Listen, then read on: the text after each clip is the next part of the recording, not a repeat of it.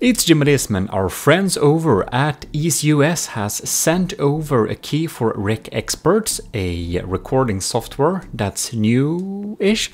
Anyways, we're gonna try it out and uh, see how it holds up against the other ones I use, which is OBS and uh, Bandicam. So it has some different features and stuff like that. Um, basically the regular stuff most of the screen recorders have, but also some other um, things included like players and stuff. Here we have a little full metric where we see the different things they have. And of course, EaseUS RecExperts own webpage, webpage uh, give it uh, check marks everywhere. Anyways, we are going to uh, install it and check it out. So it can be used to record games, record meetings, record other videos and stuff like that. So we're, we're gonna see how it looks. We can see this is very easy to install. Uh, and we are going to upgrade to the full version because if you click here uh, you can see upgrade to full version and you can see that the free version which you can try for free um, it's kind of limited recording per like per clip is one minute it's like you're not gonna do anything useful with that uh, so uh, it's a paid software. The free version is uh, so limited, I think uh, you won't get a lot out of using the free version. You can see here um, why you probably want to have Pro if you want to use this uh, software. In any case, 24-7 support, wow. All right. Anyways, um, there we can see that we should be entering our license and there we go. Now we got the full version, easy as that.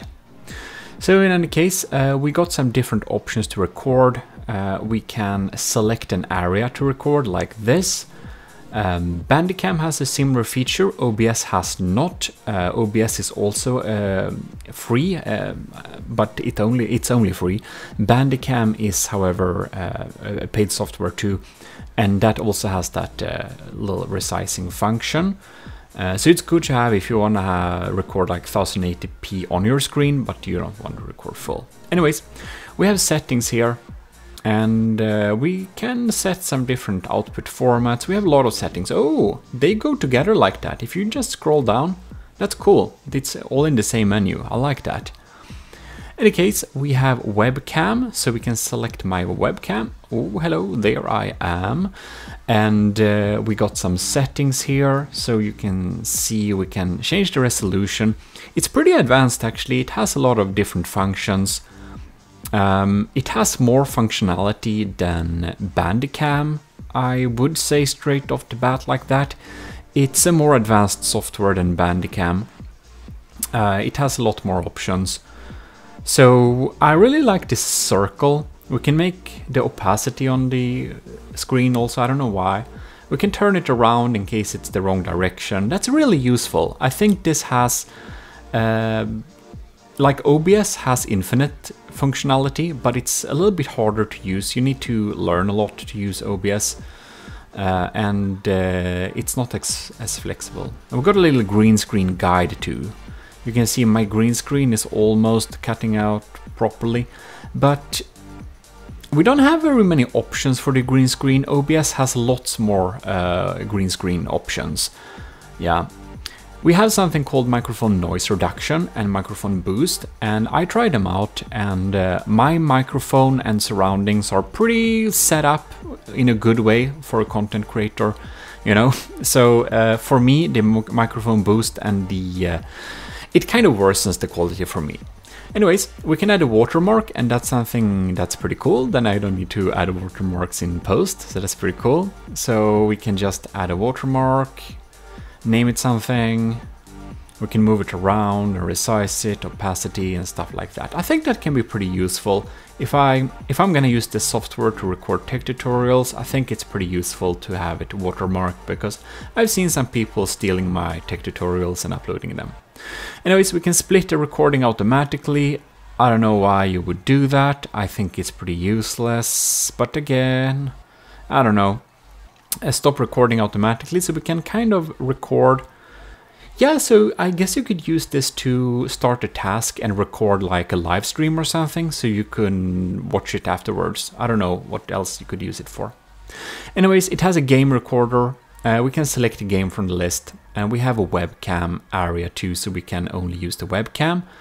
Uh, it seems to have a little bit other area. We can change the background to studio so my green screen is a little bit too small for this, but you can see it works pretty well, especially the uh, classroom. And I added my own image as, uh, as a background instead. I think it looks pretty cool, but the settings doesn't save to the regular webcam on screen. It's only for webcam mode, so I'll need to set this up myself again to the webcam on screen. So now I can basically record the screen and have myself in a little circle like this. I think it looks pretty neat actually. Um, it looks pretty professional. Um, I would like some more options for the green screen, however, because you can see it's like bleeding in the edges. That's not great. Uh, OBS could fix that, but you know, it doesn't have that functionality, RecExperts. Uh, so that would be cool if that was added. Um, in any case, here we can see we got a little file browser, and here we have the area if you want to record, um, well, a web page of some kind. So we have commands F, F1 to F12 to record, but yeah. Anyways, uh, here we can see inside the file browser, which you saw I launched before. Uh, I recorded a little clip before and also from from the software itself and now you can see that we are trying to export it after we have trimmed it so it has a built-in video editor too and you can't like split and do advanced things in this video editor, so it's a very limited video editor. But you can change the playback speed like as a media player, it's pretty it's pretty good. And you can extract the audio for some reason. Could be good if you want to post-process the audio. So it's not a I don't think it's meant to be editing inside of this software very much, but you can edit it some if you want to. We can add a opening title too. So we can change the background like that, add a little closing credit. So I guess you could like record a lesson or a little video in this, but don't make too many mistakes because you can't jump cut uh, in this, uh, or I haven't found how to jump cut at least. So yeah, um, it's uh, it's kind of limited like that, uh, but it has a built-in video editor, which is pretty crazy. Um, I don't think I will be using it much, but if that's something you need, it could be good. We're gonna look at these functions you see on the screen a little bit more in detail now, because uh, right now we're just checking the uh, uh, file for like export so I wasn't sure which one I would have first. Anyways, we can move all the files we have recorded to our SSD and just move them to our storage space.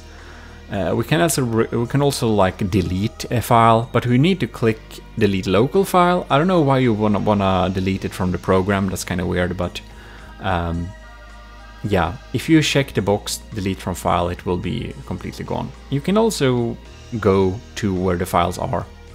Anyways, here we have a jump cut edited version of this recording.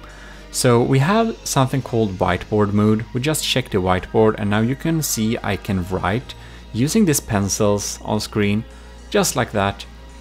And we can change colors, we can add arrows, we can have different thicknesses. And I think this is a pretty useful mode. We can even add text like this, but you can see that the recording software records itself, which I don't think it should do. So this mode is gonna be pretty hard to use if you only have one screen. So that's something to keep in mind, but if you have two screens, then it's really easy. You can see we can just put a box here, put a number. If we click here, this is gonna follow with it, so we need to click the clear button to remove it. Uh, so when you have recorded with this, um, you probably want to have a, like post-production and just jump cut all that out or you could use a hotkey and pause uh, between when you like add and move stuff so it doesn't look weird. Yeah, so we can see I really like these little numbers here. You can just place them down like this, four, five, six. I think it looks really professional. Uh, and if you click um, the erase, you have a regular eraser here. It's like literally a whiteboard. Uh, so you can clear the whole page or do eraser. We can add some boxes and if we pause the recording between adding stuff, it will just appear. But I don't know, I, I kind of feel like this software is really optimal for having some kind of like online lesson. We can even, even have the colors, colored numbers like that. And if we check this little whiteboard, you can see we get a overlay with just white and then we can like write in stuff here. I think it's pretty handy. It's like I think I think this tool is optimal for like online education if you're a tutor or something like that. I think it can be extremely useful. And here are the credits I added. I don't like that much, but you can add it. Now I test the game recording uh, with a webcam on. And I don't know if it's my computer, but uh, you can see I have these glitches with the camera. The colors are wrong, they glitch around, the overlay doesn't work. So I can't resize the window and it looks weird when I uh, export it. And it's even when I go in game. So the game recorder just doesn't really work for me. And uh, experts uh, updated the software between I did this. You can see when I have it in a box, even with not the square, it still gets squished. But if I remove the webcam, you can see it's perfect. If I don't have the webcam, it works. And I'm now recording an MP4 file, which takes a lot of uh, resources, and it takes about 20% of the CPU, and that's pretty standard what most softwares use. I would however recommend other settings, which I'm gonna show you later. But anyways, the game recorder works really nice now uh, but not with a webcam for me. So now I'm just stress testing the recording software and recording a really, really laggy game event just to make sure that the program and nothing crashes. And it doesn't, but I will tell you that I have some hardware problems with my system. So my computer isn't feeling too healthy. So these issues you have does probably not appear on most people, because you can see when I take screenshots, my screenshots looks like this. And now they updated the software. Uh, and now you can see the screenshots are fine. So they did an update and that was fixed. Uh, and but with, if I take a screenshot with my webcam, I just get black screen. So I tried it again after update and see if the game recorder with webcam would work, and you can see it doesn't. And it might as well be my computer because I'm having issues with my GPU, but I don't know, I can't really say much more about that, I assume. Anyways, I would um, record in FLV and not MP4, that's my recommendation. And you can set the frame rate to uh, 144 Hz, which is pretty high. A lot of recording softwares will not let you record that high frame rate. Um, but 60 should be the cap because um, it's the cap of YouTube. Anyways, FLV will uh, FLV recording will cause a lot less lag but larger file sizes. So this is what I would use, but the preset was MP4, so that that's what we have tested in this video. Uh, so far. But if I'm using this in the future, I'm gonna use FLV because it's uh, better quality, less lag, but larger file size. Anyways, we can record the audio quality in a higher level, and I usually do VAV files with pretty high bitrate. We have a cool countdown before the recording starts, and I think that looks really cool. Uh, gets you in the mood of recording. So I think that's really useful. Um, so we have some different settings we can add here. Um, and again, here we can see the F keys. You can change them beyond this. You can change them to whatever you want, which is something I would like. And we can also add a marker on the mouse and uh, like click effects, which is pretty cool. Bandicam has that too, OBS does not. So yeah, that's basically that. I think it's a pretty useful recording software to record your screen. The, the game recorder works fine for me, but not with a webcam. I don't know really why that is. Uh, but they have updated the software and I assume that RecExperts uh, like on their system it probably works. I know my system is a little bit weird and my GPU is about to give up, so don't read in too much in this, but um, I'm just showing you what uh, how it's working on my system. So yeah, I don't think that RecExpert's uh, game recorder is better than OBS because OBS has just a lot more functionality. But EaseUS RecExpert look really clean and nice. It's very easy to use and I think it's really good for uh, tutoring. So if you want that whiteboard, I think if you want to get this software, it's probably because you want this whiteboard function. This whiteboard function is the best I've seen so far. Uh, Bandicam does not have anything similar to it.